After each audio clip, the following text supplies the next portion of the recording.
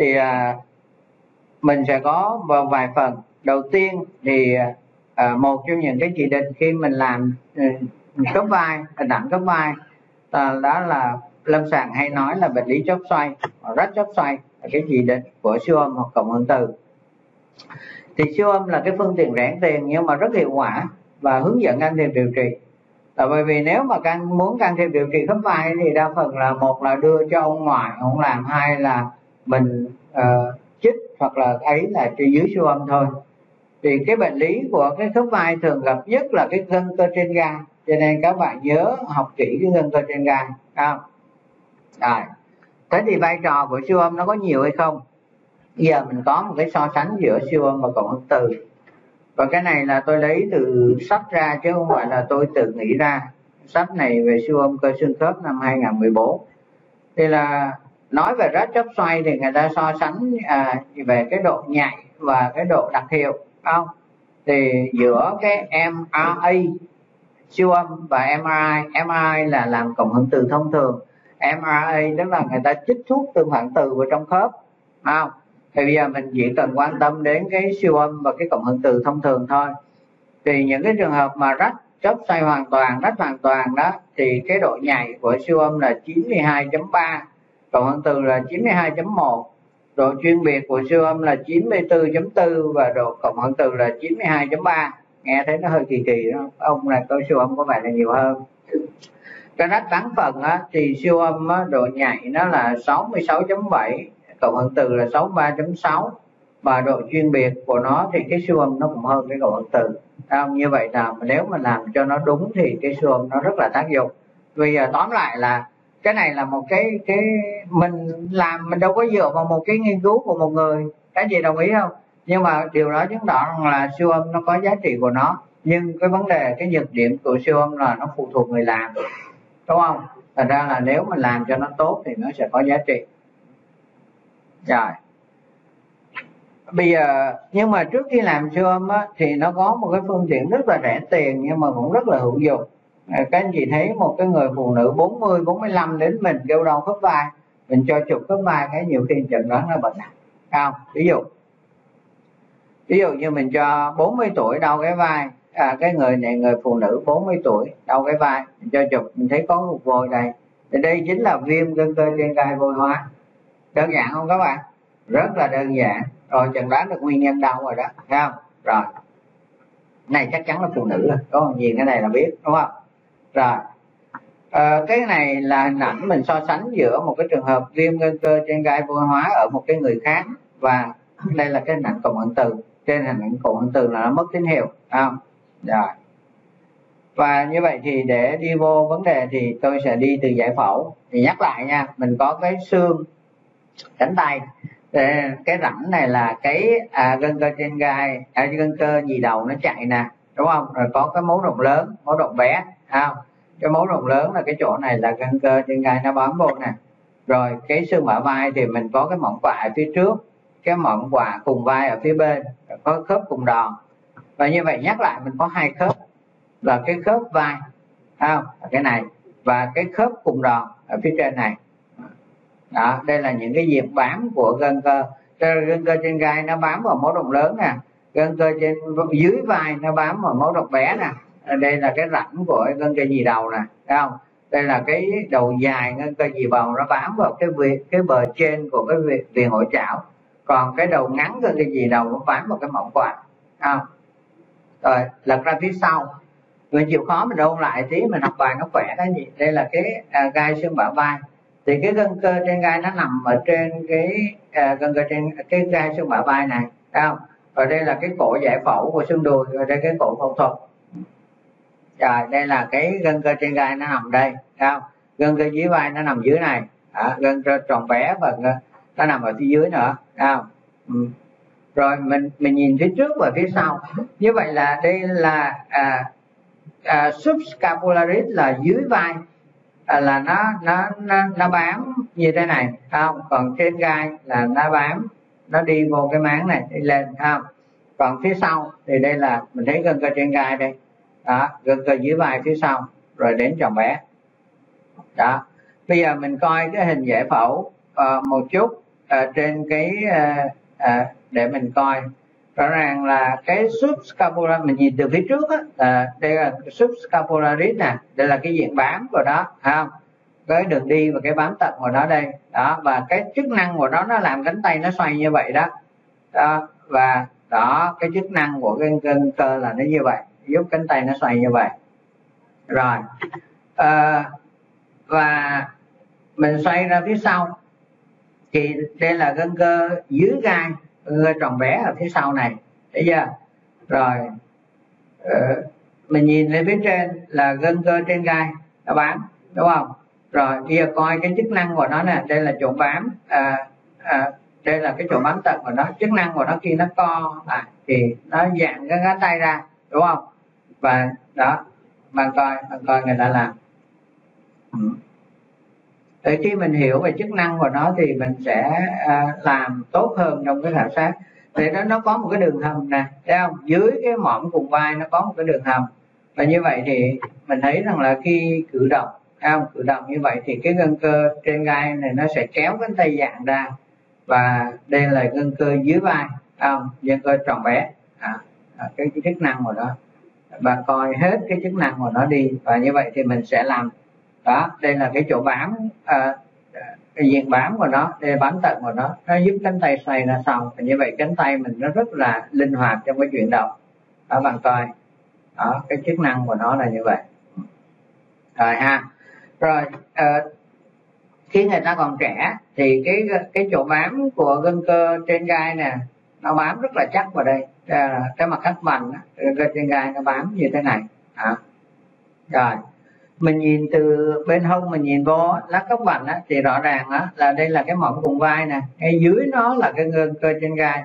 Đây là cái gân cơ nhì đầu và đây là gân cơ dưới vai. Đây là gân cơ dưới gai và đây gân cơ tròn bé và đây chính là cái khái niệm chóp xoay nó là như vậy. Chóp xoay là rotator thấp nó gồm có dưới vai thằng này dưới vai lần này nè rồi đến uh, trên gai nhị đầu dưới gai và tròn bé. Rồi mình mình à, nhìn ở trên uh, uh, da nó có những cái mốc của nó. Uh, đây là nó gọi là cái tứ giác nguy hiểm. Thì cái mỏng vùng vai đây nè cái móng rộng lớn đây nè nó ù ù lên nó mấy cái người mà hơi ốm chút là rõ. Còn mấy người mà hơi bù bẩn thì cái này nó tròn bo luôn mình không thấy được cái này xương đòn cái này là cái mỏng quạ không? Thì cái tứ giác này là tứ giác nguy hiểm thì cái gân cơ trên gai á, à, nằm ngay vị trí này được tạo sát. Đó. Đây nè cái cái này gọi là cái tứ giác nguy hiểm là tổn thương nó nằm ngay đây.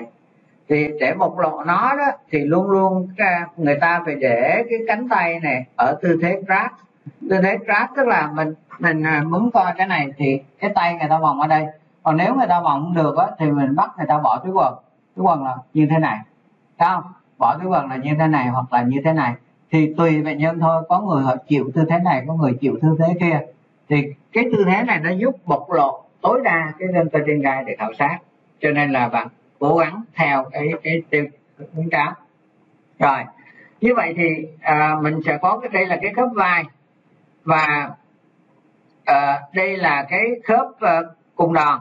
Và đây là nó có hai như vậy là bình thường mình sẽ thấy dịch ở cái khớp vai này rồi dịch ừ, cái đây là cái bao hoặc dịch dưới cùng vai delta. Đây là cái cùng mỏng cùng vai này. Cái này nó gọi là, cái này nó gọi là bao hoặc dịch dưới cùng vai delta. Đây là khớp vai. Thì ngày xưa đó, để chẩn đoán và rắc cái gân cơ trên gai nó rất là công phu. Bạn biết người ta làm cái gì không? Ngày xưa chưa có siêu âm á, người ta chích thuốc tương phản vào trong khớp vai này nè. Nếu mà thấy thuốc tương phản nó lan ra, nó vô cái bao hoạt dịch dưới cùng vai delta thì người ta nói là rắc còn nếu mà nó không vô là không rắc. Bạn hiểu không? Đó, ngày xưa là như vậy đó. Bây giờ mình coi hình ngày xưa nha. Ngày xưa đây nè, mình mình, đây là mình bơm vô cái khớp vai rút tương phản á. Đó đó, như vậy là bình thường. Còn cái trường hợp này á, mình bơm vô cái khớp vai cho nó lan ra cái dưới cùng vai delta thì nó là rắc. Ngày thưa các anh chị thấy ngày xưa nó nó công phu không? Quá công phu phải không? Còn bây giờ làm siêu âm cái mình thấy liền. Bây giờ rồi thế vậy thì à, bây giờ mình lại nói lại về vì sao cái gân cơ trên gai nó hay bị. Người ta cứ dạng ra dạng lại như thế này nè thành ra bây giờ mình muốn mới bị bớt dạng ra đi không? Thì nó nó cái vùng này nó bị vi chấn thương nó có lặp đi lặp lại. Và như vậy thì nó sẽ thoái hóa không? Ừ, và nó đưa đến thoái hóa rồi đến viêm lắng động vôi. Đó. đó cái vùng này là vùng hết sức nguy hiểm. Rồi à, nó có cái cấu trúc giải phẫu bất thường nó cũng ảnh hưởng nó làm hẹp cái đường hầm. Bình thường á cái mỏng vùng vai á, cái tiếp một ờ, à, tiếp hai ờ, à, tiếp ba tiếp bốn thì cái tiếp ba này là cái tiếp nguy hiểm nó chút xuống nó chút xuống thì nó làm hẹp cái đường hầm. Và như vậy là nó nguy hiểm. Như vậy là ở đây một trường hợp cái mỏm cùng vai an toàn cái nó phẳng. Còn cái này nó chút xuống ở phía ngoài thì cái này không tốt nó dễ chẹn vào đúng không? Thì đây là cái không tốt. Ừ rồi như vậy thì cái vấn đề mấu chốt á, là cái đường hầm nó hẹp. Và như vậy thì người ta gọi là chẹt impingement là chẹt. Khi mà đường hầm nó hẹp thì nó làm những cái vi chấn thương lặp đi lặp lại. Như vậy là những cái vi chấn thương lặp đi lặp lại này và nó đưa đến tình trạng rách bán phần rồi nó rách toàn phần và nó rách rang rộng ra những cái cơ kế bên và gân cơ kế bên và nó đưa đến gọi là cryptia tia acropathy tức là bệnh ví à, bệnh khớp do nó chóc xoay rồi. Cái hình này là cái hình quan trọng nhất trong cái bài này. Rõ ràng là những cái vi chấn thương nó làm rách cái gân cơ trên gai. Đây nè đây gân cơ trên gai nè. Và nó rách ở cái phần trước gần cái gân cơ nhị đầu. Đó. Cái lát này nó càng ngày nó rách hết nó rang rộng rồi. Và sau đó nó rách toàn bộ cái gân cơ trên gai sau cái rách gân cơ trên gai thì nó có thể lách rang ra cái gân cơ dị đầu và gân cơ dưới vai. Còn đây là rách là phía sau là gân cơ dưới gai thấy chưa? Như vậy quan trọng nhất là cái gân cơ trên gai. Mấu chốt nó nằm ở đây. Rồi. Thì bởi vậy cho nên người ta à, uh, Tomaru ông mới đưa ra cái phân loại. Không? À, cái D là rách khu trú gân cơ trên gai. Đây là cái D nè. À, rách khu trú gân cơ trên gai. Và DE là rách gân cơ DE là gân cơ trên gai và cái này gọi là khoan sai khoan sai tức là nó bao gồm cái à, cái gân cơ nhị đầu nè. Đó là hai cái kiểu rách thường thấy nhất là D và DE thấy không? Tức là hoặc là rách toàn bộ cái này hoặc là nó rang về phía trước như này.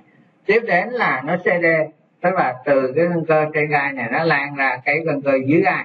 Hoặc là CDE tức là cả cái trên gai cả cái dưới gai và cả cái nhì đầu nó đắp trang rộng lên như vậy. Rồi khi mà nó đắp hoàn toàn lên cái nhì đầu rồi á thì các anh chị thấy rằng là lúc này á là tự động cái cái chỏm xương cánh tay nè nó thúc lên trên. Thấy không? Và như vậy á là cái gì thấy cái hình này á cái khoang này nó hẹp rí à đúng không? Thì như vậy là do nó rách hoàn toàn cái gân cơ trên gai này thì cái này nó gọi là cướp chia acropathy tức là bệnh khớp uh, do cái rách chóp xoay không, nó đưa lên cái hình ảnh này. Ngày xưa người ta chẩn đoán bằng cái hình này không à.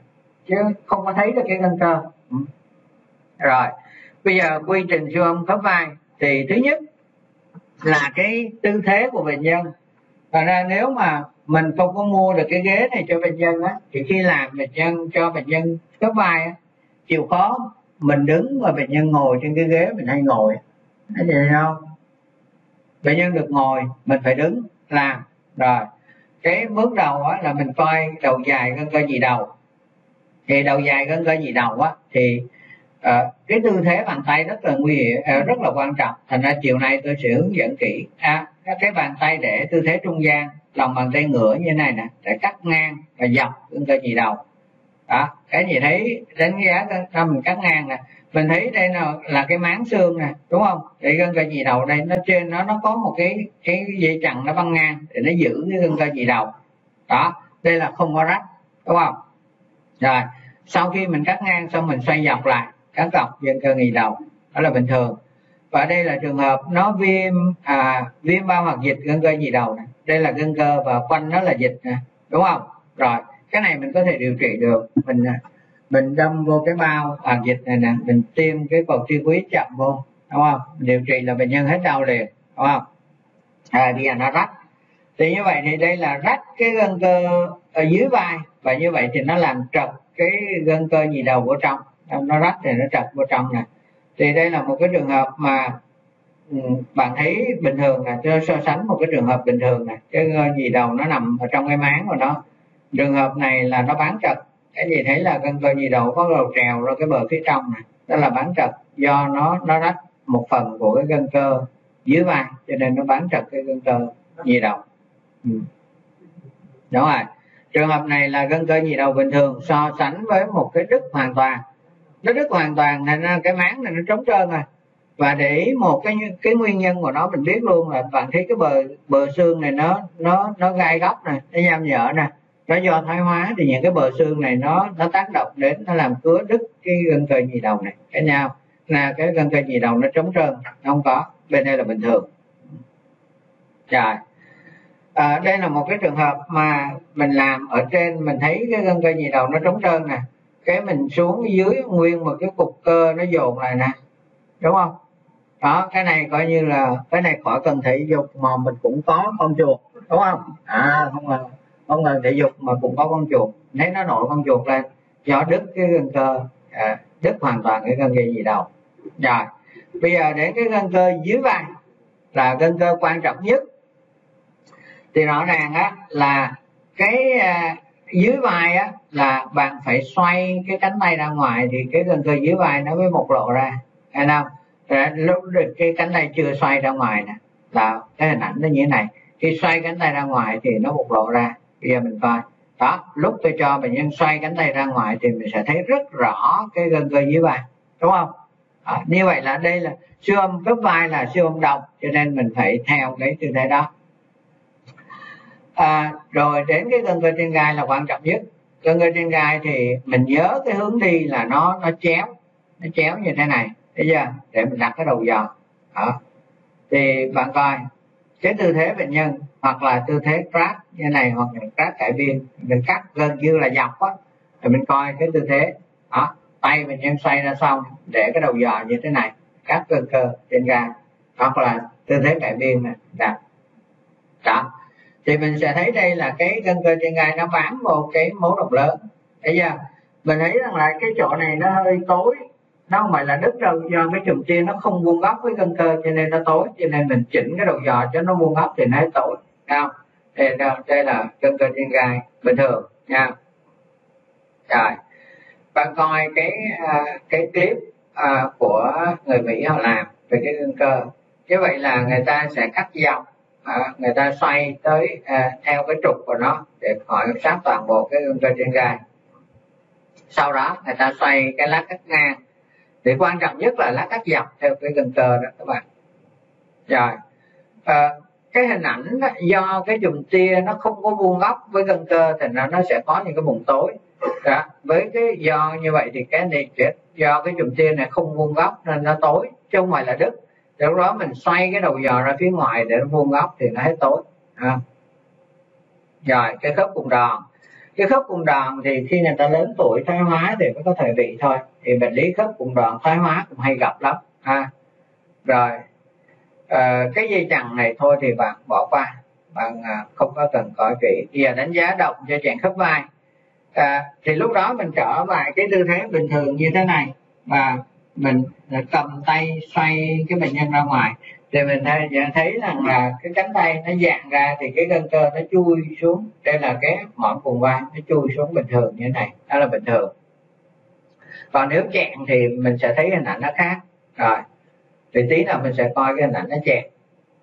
ở bây giờ mình coi cái gân cơ dưới gai tức là ở phía sau á thì ờ, mình có thể đứng phía sau lưng bệnh nhân mình làm. Để để bộc lộ tối đa thì tôi hay dùng cái tư thế này. Tôi nói bệnh nhân lấy cái tay ôm lên cái vai bên kia thì nó bộc lộ tối đa ra cái gân cơ dưới gai. Đó đó bệnh nhân ôm về thì nó gân cơ dưới gai nó cũng rất là giống uh, cái gân cơ trên gai nhưng mà nó nhỏ hơn thôi nó nằm ở phía sau đó. Ngoài ra thì người ta còn coi cái viền ổ chảo thì từ phía sau mình coi được cái viền ổ chảo thì đây là cái chọn xương cánh tay. Đây là cái à, cái viền ổ chảo và đây cái labrum đó là cái sụn viền đúng không? Rồi. Rồi người ta coi được cái à, cái động tĩnh mạch ở cái khuyết vai đó, nó có cái thần kinh động mạch tĩnh mạch thì nó có thể có nang ở trong đó mình sẽ coi mình dùng cái đầu dò đét hoặc linear để coi nó. Thì đây là cái huyết vai mà mình dùng cái đầu dò đét để coi. Đây là cái giọng xương này cái huyết vai. Sẽ thấy được cái mạch máu ở trong huyết vai.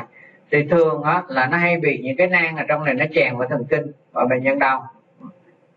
Rồi cái gân cơ dưới vai và tròn bé thì nó ít bệnh không? Thì bây giờ mình có để tiếp đến là đánh giá teo cơ. Nếu mà rách gân cơ trên gai thì mình sẽ đánh giá nó có bị teo cơ hay không và bởi vì nếu mà rách gân gân trên gai mà mới rách á, thì mới có tác dụng. Tại sao người ta đi mổ được? Người ta đi mổ được thì người ta sẽ lấy cái đầu mà nó rách á à, cái đầu gân á người ta ừ, kéo ra. Rồi người ta lấy cái đinh người ta đóng đóng lại. Giống như là mình bị đứt dây mình néo ra mình đóng lại á. Thì nếu mà nó chưa có theo cơ thì người ta làm được. Còn nếu nó theo cơ là không có tác dụng nữa. À, thì nếu mà đứt mà để lâu ngày là nó theo cơ thì nó không có tác dụng.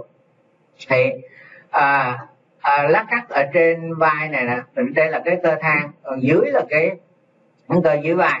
À, thì khi mà teo á, thì nó sẽ thoái hóa mở. Không? Mình sẽ coi những cái hình ảnh thoái hóa mở. Thì khi mà thoái hóa mở thì cái này tốt nhất là mình đánh giá bằng cộng hưởng từ đây là khối cơ này à, ờ, độ 1 này nó có tí mỡ xung quanh. Độ 2 mỡ nó nhiều hơn. Độ 3 thì mỡ nó nhiều rất nhiều. Có tí cơ thôi. Độ 4 là như này. Còn trên hình ảnh siêu âm thì mỡ nó là sáng à, nó đây nè đây, độ 1 cái này nó là cơ này nó tối như này nó sáng là, là thoái hóa mở nè thoái hóa mở nó còn trí cơ còn cái này nó mở hết luôn thấy không? Rồi cái bệnh lý về gân cơ trên gai thì đầu tiên là cái viêm gân cơ trên gai. Viêm á là cái này nó là người ta dùng cái thuật ngữ là tendinosis hơn là tendinitis vì nó không có hoạt động của tế bào viêm. Thay vào đó là quá trình thoái hóa à, cho nên nó ngoài thoái hóa viêm đó cho nên là người ta dùng là tendinosis. Rồi tuổi là 40 trở lên nam nữ như nhau. Và theo cái thuyết bây giờ người ta đặt ra giả thuyết bệnh lý khớp vai đầu tiên là nó viêm trước rồi sau đó nó rách tán phần rồi sau đó rách toàn phần. Đó viêm thì mình biết rồi viêm thì nó tăng thể tích mà hồi âm kém mất cấu trúc sợi. Là cái gì thấy chỗ này nó có cấu trúc sợi đây chỗ này là nó mất cấu trúc sợi hồi âm nó kém hơn sẽ tăng cái bề dày. Và người ta dùng một cái khái niệm mới là là delta. Delta tức là làm sao? Ờ, ví dụ như mình đo bên này nó là 8 mm cái mình coi cái đối bên nó không có triệu chứng nó là 6 mm. Cái gì hình dung không? Như vậy là trên là trên 2 mm. Nó giảm hồi âm ở mất cấu trúng sợi và có thể tràn dịch vào hoạt dịch. Đó. Rồi nói chung là viêm thì nó tăng cái thước. Hãy đánh gì thấy đây là một cái trường hợp ở bên đau vai phải thì cái vai phải này nó tăng kích thước nó lên 8 mm còn cái vai trái nó được 6 mm tức là nó chênh lệch nhau về cái kích thước và cái hồi âm nó hơi kém. Thì như vậy là mình chẩn đoán là viêm gân cơ trên gai bên phải không? Rồi. Đây là một cái trường hợp mà cái gì đấy nó có tí vôi nè. Đó và nó tăng cái kích thước lên lên 9 mm đó, cái hồi âm nó mất cái cấu trúc sợi như là viêm gân cơ trên gai bên phải đúng không? Đây là hình ảnh trên cộng hưởng từ của bệnh nhân. Nó kèm theo có một tí tràn dịch vào dịch uh, uh, dưới cùng vai delta thấy ừ. rồi hình ảnh trên cùng một bệnh nhân á gì? theo trường hợp nó có ổ viêm đây thấy chưa? Đó nó tăng cái thước lên đến 10 mm và đây là cái hình ảnh cộng hưởng từ của bệnh nhân đó là viêm ngân cơ trên gai. Nó khá tương ứng giữa cái hình ảnh siêu âm và cộng hưởng từ. Đó bệnh nhân này cũng đau vai phải và cái gân cơ nó sưng nó to nặng so với cái gân cơ trên gai bên trái không có bị đau. Như vậy thì một trong những cái khi mình làm siêu âm á, là cần thiết là mình làm đối bên để mình so sánh luôn. Và cái cách hay nhất đó là bạn đừng có thay đổi gì yếu tố kỹ thuật đó bạn làm cái bên phải bạn chia hai màn hình ra làm trong cái bên trái. Mình có một cái so sánh rất là hay. Rồi cái này là một cái viêm cơ trên gai bôi hóa. Thì cái lúc này mình thấy cái ảnh bôi hóa trên x quang rồi bây giờ mình thấy trên siêu âm nè. Bạn thấy cái cục vô chưa? Nó tạo bóng lưng thấy không? Đó viêm cơ trên gai bôi hóa. Đó à, đây là trường hợp mà mình có hình ảnh siêu âm cái cục vôi đây. Cộng hưởng từ cục vôi đây với x quang trên cùng một bệnh nhân nha. Bệnh nhân này mới có 35 tuổi à. Rồi bây giờ cái gì thấy là cái cái cái gân cơ này nó có hai cục vôi ở đây cái hình ảnh siêu âm nữa nè. Đó vôi rất là rõ. Rồi cái này nó có một cục vôi nhìn thấy cục vôi rõ không? Rất là rõ. Và cái này điều trị được nha các anh chị. Cái này điều trị là à, dùng cái bạc bota tức là mình sẽ dùng cái à, à, thuốc tê. Mình à, trộn với cái nước cất á, rồi mình à, cho một cái saline 10 đó. Mình đâm vô trong cái cục này nè tại vì cái dạng vôi này là cái dạng nó nó nó nó giống như reo rồi đó. Mình cứ vừa bóp vừa đẩy là khi mình bóp vô cái dịch nó hòa cái vôi này nó ra thì nó nó gọi là bạc ta thì mình sẽ điều trị được cái cái cục vôi này. Rồi sau cái quá trình viêm á, thì nó đến rách cái rách gân cơ thì nó thấp ở lứa tuổi 40 nhưng mà về 40 50 mình bắt đầu viêm mà và sau đó cái lứa tuổi mà nó rách nhiều là tăng ở gia gia tăng lứa tuổi 50 và tăng rõ rệt ở lứa tuổi 70 như vậy mà mấy người 60 70 đến mình là hoặc là viêm hoặc là rách thôi không? Khởi đầu là viêm, sau đó là rách đó, thì 50 phần 55 phần trăm bệnh nhân rách chốt xoay một bên sẽ có hình ảnh rách chốt xoay đối diện, đó là thường. Giống như các bạn thấy, bệnh nhân đến với mình làm cái tổng hợp từ gối bên phải, thoái hóa thì hình như là bên trái nó cũng hình hình ảnh nó cũng tương tự. Các bạn có để ý không? Nhiều người làm đến hai cái khớp là thoái hóa như nhau hết. Rồi. Như vậy đây là cái ngưng cơ trên gai bình thường. Nếu như vậy và quá trình cái sự thoái hóa nó làm gây rách và khởi đầu nó rách ở phía trước à, bán phần. Và từ từ nó đây là cái chỗ rách nó lan rộng ra nó lan rộng ra và nó rách hoàn toàn. Ừ. bây giờ mình phân biệt giữa rách và viêm. Thì rách là nó làm mỏng gân cơ đi còn viêm thì nó tăng cái bề dày những cái trường hợp rách á, thì cái vỏ xương nó không có đều. Viêm thì vỏ xương nó nhẵn. Thì rách thì do những một trong những nguyên nhân nó gây rách là chính cái cái vỏ xương nó tác động lên. Cái rách mà về trong mặt bao khớp á, nó gọi là articular tức là rách về phía bao khớp. Nó rách như thế này.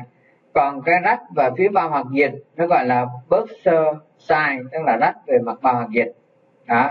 Rồi nó rách ở trong dọc ở trong cái nó gọi là interstitial tức là rách trong cái mô kẽ rách như thế này. Đó. Cái triệu chứng của rách là gì? Ờ, viêm thì nó dày lên còn rách thì cái gì thấy nó mỏng đi này nó lõm xuống. Thấy không? Phía trên là cơ delta còn đây là cơ dưới gai thì chỗ này bình thường chỗ này nó mỏng nó lõm xuống. Đó nó rất đứt bán phần. Đó. tiếp là cái gì thấy mình so sánh bên phải bên trái bên phải này bình thường bên trái bệnh nhân đau. Làm cho mình thấy cái gân cơ này nó mỏng đi nè thấy không? Đó đó là rách. Rách là mỏng đi viêm là nó dày lên. Cái vỏ xương này nó không có đều. Ở trong cái à, rách là cái vỏ xương này nó không có đều. Rồi có thêm một cái dấu hiệu luôn là tí là mình học tức là dấu hiệu mặt ăn cách sụt. Bình thường cái này mình không thấy cái mặt ăn cách sụt. Đây là đây là xương này chị đây là cái sụt. Sụt nó có hồi âm kém và đây là cái bề mặt sụt này nay mình không thấy được rõ. Còn nếu do nó rách cái chỗ này nè, cho nên cái dịch nó len vô nên nó bộc lộ rõ ra. Không? Rồi, dấu hiệu bằng ngăn cách sụt. Dạ. Thì đây là một cái trường hợp mà mình thấy nó đầy đủ cái hình ảnh của nó hết. Đây là cái cái cái bờ xương nó không có đều. Đây là cái chỗ rách đó. Và đây là cái dấu hiệu mặt ngăn cách sụt nè. Và cái gì để ý là dịch đây là dịch nè đôi khi nó có hồi âm dài, bạn thấy dịch nó có hồi âm dài nè đây là dịch nó len vô cái chỗ rách á. Hiểu không? Đó và đó, đó đây là dấu hiệu mặt cánh ruột đây là rách hoàn toàn rồi. Và trên cái hình ảnh cộng hưởng từ là cái gì đấy đây nè nó còn tí đây và chỗ này nó rách hoàn toàn. Ừ. Đó. Trường hợp này nó cũng rách hoàn toàn cái gân cơ trên gai cho nên đây nó có cái mặt ăn cá sụn rất là rõ. Ừ. Trường hợp này cũng tương tự luôn. Cái gì thấy đây là cái chỏm à, đây là cái xương đây là cái sụn này nè nó còn một cái dạng mỏng te của cái gân cơ trên gai này còn đây là dịch đây thấy không? Nó đứt hết. Đó nó còn một chút xíu này nè. Đây là đứt bán phần mà gần như là hoàn toàn rồi. Đó. Đây là trường hợp nó nó có hồi âm dày dịch nó có hồi âm dày. Đây là chỗ rách các anh chị. Đây là cái mặt ăn cách sụn này chứng tỏ là rách. Và cái dịch ở trên này và thế khi mình ép đầu giò thấy cái dịch nó đi ra đi vô cái chỗ rách này nè. À. rồi. Đây cái trường hợp này cũng rất là hay. Cái gì thấy nè? Cái này không phải viêm nha. Đây là cái mặt ăn gách sụn này. Chứng tỏ nó rách. Và đó, cái gì thấy ấn đầu giò cái đấy dịch nó ra vô. Không đó nó rách hoàn toàn rồi. Đúng không? Cái gân cơ này này nè nó bị đứt đứt hay vị trí này. Đó dịch nó ra vô. Đây là dịch nó chạy nè. Thấy không? Đó và đây là ảnh ảnh cộng hưởng từ xác nhận là nó rách hoàn toàn. Rồi. Và đây là một trường hợp nữa rõ ràng là nó rách cái gì ha? Nó rách bán phần. Đó. Đây là cái chỗ rách. Đó, nó không có liên tục nữa. Cái bờ nó rách xuống. Ở đây là ảnh trên cộng hơn từ của cái chỗ rách bán phần. Rồi. Thì cái người ta sợ nhất là nó rách hoàn toàn. Vì đây là giai đoạn 1 nó chưa có co rút cơ thì nó phụ ở trên này. Giai đoạn 2 là nó nằm cái chỗ đứt đó, nó nằm trên cái chỏm xương và giai đoạn 3 nó vô, vô trong cái viền nội trảo. Đây là một cái trường hợp vai phải cái gì thấy à, nó đắt hoàn toàn rồi. Thấy chưa? Đó dịch đây nè. Đó nó đắt và trên cầu hận từ nó đánh giá cái độ tốt hơn. Là cái nó đắt cái nó còn rút đến ngay vị trí phía trên cái chọn xương cánh tay. Đó trường hợp này thì cái gì thấy không? Nó trống trơn chỗ này nó đứt hoàn toàn trên cầu hận từ nó đắt đây nó nằm ở phía trên tức là giai đoạn 2 đó. Còn cái trường hợp này thì nó quá nặng cái gì thấy cái mặt ăn cách sụn nè và nó tuột vào phía trong rồi thì trên cái cầu hưởng từ á, là nó phía trong cái bờ ổ chảo đây nè tức là giai đoạn 3 rách giai đoạn 3 luôn. Rồi đến giai đoạn 3 là người ta không có làm gì được hết bt rồi không làm gì được hết. Rồi bây giờ đến cái hội chứng chèn khớp vai thì do cái đường hầm nó hẹp xuống thì nó chẹn, thì người ta có hai cái khái niệm là chẹn ngoài và chẹn trong. Chẹn ngoài tức là bản thân cấu trúc giải phẫu, nó bất thường, nó cái tiếp ba nó chút xuống. Chẹn trong tức là sao? Tức là cái đường hầm nó bình thường nhưng mà do viêm gân cơ nó tăng cái thể tích lên thì đâm ra cái đường hầm nó nhỏ lại. Cái gì không? Nó sẽ chẹn. Cái thứ hai là nó viêm cái bao hồng dịch. Bình thường cái bao hồng dịch nó dưới một ly không? Khi nó viêm nó dày trên hai ba ly thì lúc đó nó đường hầm nó hẹp lại. Thì như vậy là cái khái niệm chẹn ngoài tức là xương nó làm đường hầm hẹp. Còn cái chèn trong tức là bản thân cái gân cơ hoặc là bao hoạt dịch nó viêm nó sưng lên gọi là chèn trong. Đó. Thì khi mà cánh tay nó dạng ngoài thì cái tương quan nó bình thường nó như thế này nó không có vấn đề gì hết. À, khi mà nó chẹn ngoài á thì mình mình mình dạng cánh tay ra thì lúc đó cái đường hầm này nó, cái cái do cái xương này nè, nó chẹn vô, đường hầm nó hẹp, nó chẹn vô, nó trùng lên. Đó.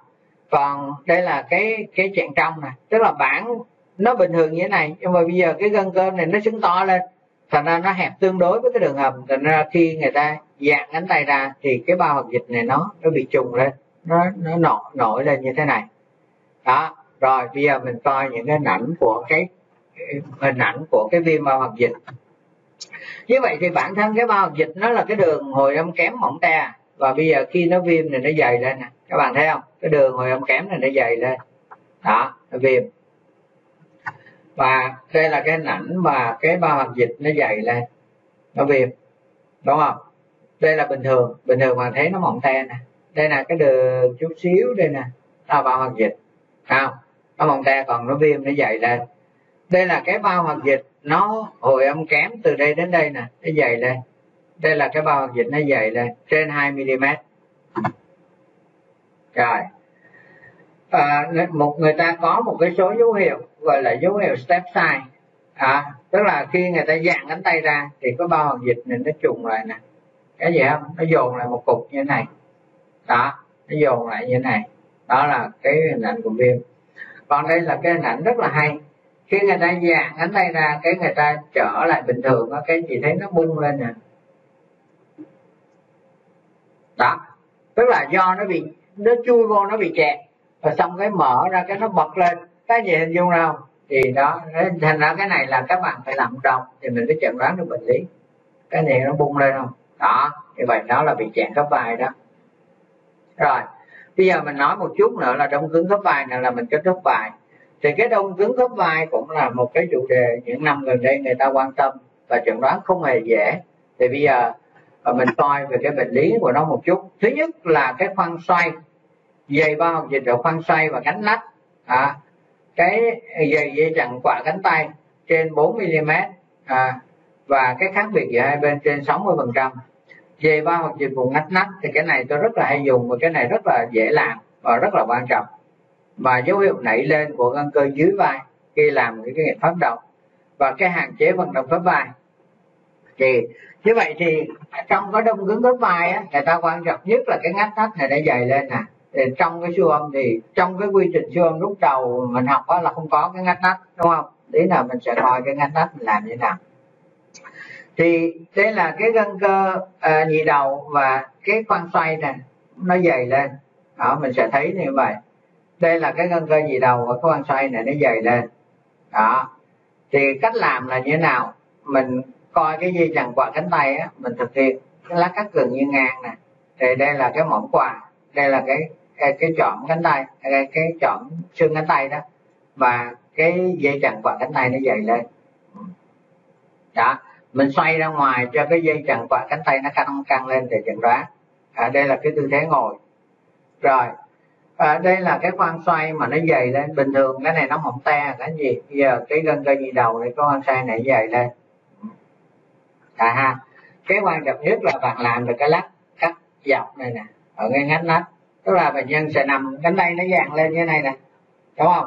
Và mình thực hiện lát cắt dọc như này. Thì rõ ràng đây là cái chọn xương cánh tay và đây là cái xương cánh tay đúng không? Đây là cái capilla tức là cái sụn và đây là cái cái ngách nách cái bao khớp nó trên 4 mm thì có giá trị trong chẩn đoán đó. Bây giờ mình à, đây là một cái trường hợp mà cắt dọc nên tràn dịch thôi không? Còn khi mà mình so sánh giữa cái bên bình thường và bên đối diện cái bên bình thường á cái bao bao ngách nách nó mỏng te còn cái bên mà bệnh lý thì nó dày lên. Đó mình cắt cái ngăn thắt nó dày trên 4 mm đó. Nó tăng cái hồi âm nó tăng bị dày ha. Đó. rồi à, có cái dấu hiệu mà mình làm cái gân cơ à, dưới vai á, tức là ở phía sau á thì do nó nó nó gọi là đông cứng cho nên nó làm co thắt. Và khi mà cái gì thấy rằng là đây nè bệnh nhân cái cánh tay ổn đầy thuốc nè kéo ra ngoài xoay ra ngoài như này thì mình thấy cái dấu hiệu. Cái này thấy bị nó co rút vô nè không? Cái này nó gọi là dấu hiệu nảy lên. Gân cơ dưới vai nha tức là cơ phía sau. Thì cái này giúp chẩn đoán được cái đông cứng khớp vai. Rồi cái cuối cùng là sao? Bình thường á lúc nãy mình làm cái nghiệm pháp động khớp vai á là thấy cái cái dây cần cơ trên gai nó chui vô cái uh, ngọn vùng vai rất là bình thường. Đó còn cái đông cứng khớp vai á, là nó hạn chế vận động khớp vai. Cho nên là bệnh nhân bắt dạng ra ngoài, bệnh nhân dạng không có nổi. Cái gì thấy, nó đến đây nó ngưng à.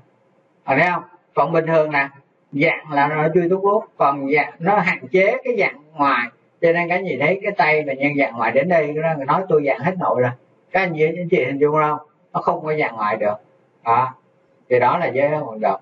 Như vậy thì tóm lại về cái bệnh lý khớp vai là như thế này cái vấn đề mấu chốt là bạn phải coi tốt cái gân cơ trên gai. Bệnh lý đầu tiên là viêm sau đó rách. Và mình lưu ý có hội chứng chèn khớp vai và đông cứng khớp vai là những cái bệnh lý thường gặp. Mình phải nắm chắc cái giải phẫu chóp xoay. Thì cái này nó uh, các bạn lâu mà không làm thì sẽ không có thuộc đâu. Nhưng mà chiều nay làm cho người một hai bệnh nhân là mình sẽ thuộc. À, không có khó. Siêu âm theo cái quy trình đã chuẩn kết hợp với x quang hoặc cộng hưởng từ khi cần thiết can thiệp điều trị dưới hướng dẫn của siêu âm tại vì dưới cái siêu, siêu âm mình thấy nó vôi thì mình hoặc là thấy cái bao hoạt dịch nó viêm thì mình tiêm điều trị rất là tốt. Rồi cảm ơn các bạn đã chú ý theo dõi.